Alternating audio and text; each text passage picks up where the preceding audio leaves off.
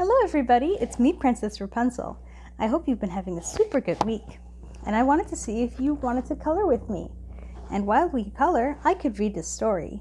So grab your coloring books, flip to your favorite page, and we can color together.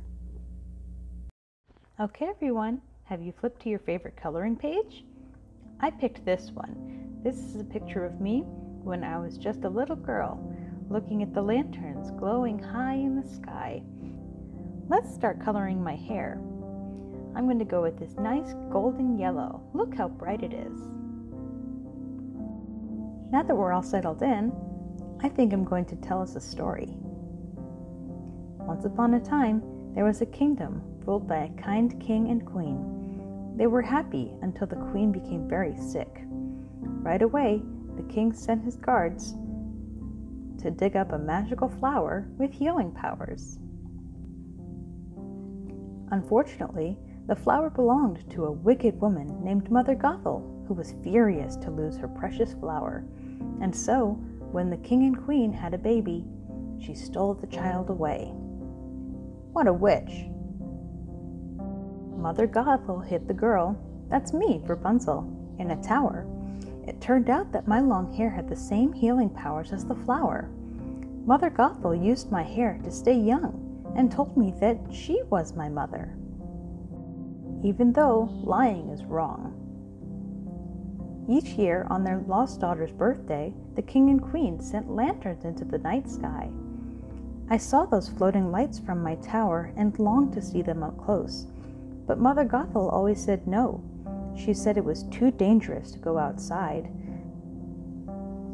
When in reality, she just didn't want me to leave and not come back. She wanted to keep me all for herself. I used to have a lot of different nightgowns and would wear different ones on my birthday every year. So I think I'm going to color this one purple. It's my favorite color. But you can color your picture any colors that you want to. This color reminds me of delicious raspberries. Anyway, back to the story. One day, Mother Gothel went away, and a stranger climbed into the tower. Thinking fast, I knocked him out with a frying pan and searched through his bag. Inside, I found a stolen crown. Curious, I tried it on. It was just so pretty and sparkly, I just had to try it on. The stranger, Flynn Rider, was a thief on the run, but I saw it as my chance to see the floating lights. I offered him a deal. If Flynn helped me, I would give him back the crown. Flynn did not want to go to the city. He was hiding from the Stabbington brothers, two thieves he had worked with, as well as the palace guards. But he could not say no. Reluctantly, Flynn climbed down the tower while I used my hair to lower myself to the ground. To me, finally being outside in the world was like a dream come true. I had never run through grass before, or climbed a tree, or sat in a field of flowers. Still, I was pretty nervous. Mother Gothel had always told me that the outside world is scary. And Mother Gothel wouldn't lie, would she? Sorry if everything looks a little bit wobbly. I'm having Pascal hold the camera, and he's not very good at it. As I was saying, Flynn tried to scare me into returning home, so he took me to the scariest place he knew the Snuggly Duckling, a tavern full of thugs. But when I sang about my dream of seeing the lanterns, we all became friends. They even told me about all the dreams that they had about being a florist or playing a piano. They all had their own dreams, and so do you. The thugs even showed me and Flynn a secret way out of the tavern before the palace guards could catch us. As we fled, Flynn hurt his hand. Then I put my hair around it, and his wound was healed. Flynn was amazed, so I explained all about my magical hair, telling him that I can heal things and make things grow. But once it's cut, I told him, it loses its power. Meanwhile, Mother Gothel had discovered that I was gone and began to search for me. Some people aren't really good at coloring inside the lines, but if you take your time and you go nice and slow, you can do a pretty good job. A trick that I use when I'm trying to color in big spaces is I start to color really carefully around the edges, and then I can just go nuts coloring the whole rest of it really easy. Anyway, back to the story. The next morning was my birthday. Flynn led me to town, which was just as wonderful as the woods. Me and Flynn danced and ate cake. There were even some kids who braided my long, long hair and put flowers in it. And then we took a boat ride to watch the lanterns from the harbor. Finally, I would get to see all of the floating lights that I would see from my tower on my birthday every year, in person. Twilight came and glowing lanterns filled the sky. I have something for you too, I told Flynn gratefully. I handed him the crown, and Flynn knew what he had to do. Flynn went ashore and tried to give the crown to the Stabbington brothers, but the thieves knocked him out. Then they found me and told me that Flynn had traded the crown to them for me. No, I cried. I tried to run away, but I couldn't. Suddenly, Mother Gothel rushed and saved me from the thieves.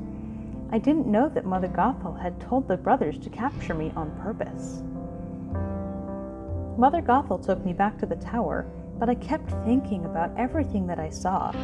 Suddenly, all the pieces fell into place. I'm the lost princess, I finally realized. Instantly, Mother Gothel stopped pretending to be nice. She tied me up, and then when Flynn came to try to save me, she attacked him. Flynn was hurt, and I knew that I could heal him with my hair. I'll stay with you, I promised Mother Gothel. Just let me save him. Swear it, said Mother Gothel, and I did.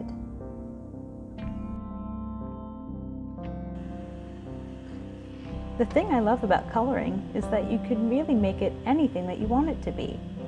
Now, I know that I always was painting the walls when I was in my tower, so I want to color the top parts of this different colors.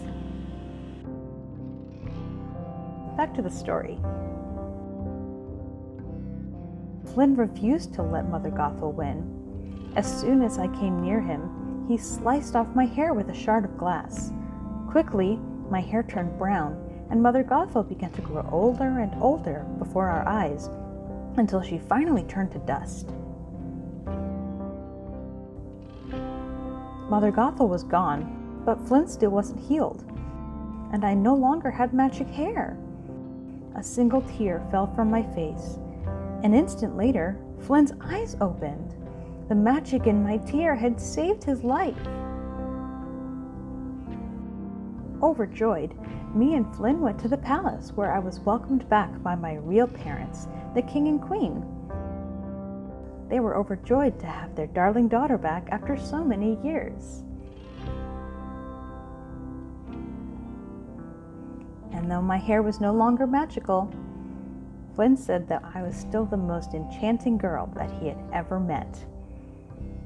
It was so nice to be reunited with my family and that Flynn was okay, and so we all lived happily ever after and celebrated in the palace together.